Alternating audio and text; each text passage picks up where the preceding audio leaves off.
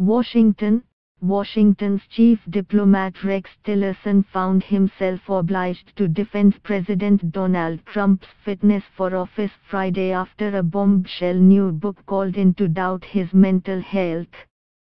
In an extraordinary portion of a television interview on foreign policy challenges, Tillerson was asked about claims that Trump has a short attention span, regularly repeats himself and refuses to read briefing notes. I have never questioned his mental fitness. I have had no reason to question his mental fitness, said Tillerson, whose office was last year forced to deny reports that he had referred to Trump as a moron after a national security meeting. And, even in defending Trump, the former ExxonMobil chief executive admitted he has had to learn how to relay information to a president with a very different decision making style. I have to learn how he takes information in, processes it and makes decisions, Tillerson told CNN. I'm here to serve his presidency.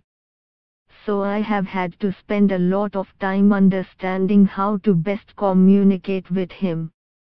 But, whatever difficulties they may have had communicating, Tillerson insisted that the right decisions had been made and that the United States is in a stronger place internationally thanks to Trump's policies. He is not a typical president of the past, I think that's well recognized, that's also why the American people chose him, he said insisting that he does not expect to be asked to resign in the coming year.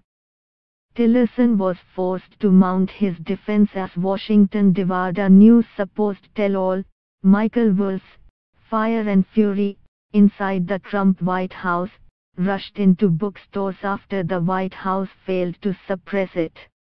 The book quickly sold out in shops in the US Capitol, with some even lining up at midnight to get their hands on it and others circulating pirated copies.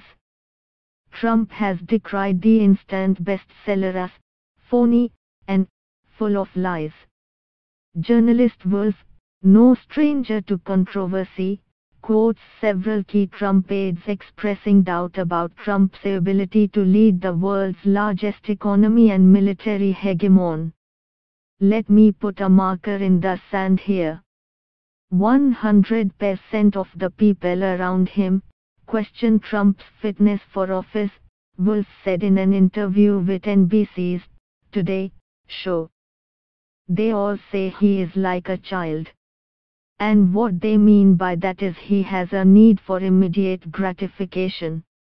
It's all about him, the 71 year old Republican president, approaching the first anniversary of his inauguration, responded with fury. I authorized zero access to White House, actually turned him down many times, for author of phony book. I never spoke to him for book. Full of lies, misrepresentations and sources that don't exist, Trump tweeted Thursday. But Wolff countered, I absolutely spoke to the president. Whether he realized it was an interview or not, I don't know, but it certainly was not off the record. The book includes extensive quotes from Steve Bannon, Trump's former chief strategist, and its publication sparked a very public break between the former allies. Bannon is quoted accusing Trump's eldest son Don Jr. of treasonous contacts with a Kremlin-connected lawyer, and saying the president's daughter Ivanka, who imagines running for president one day, is dumb as a brick.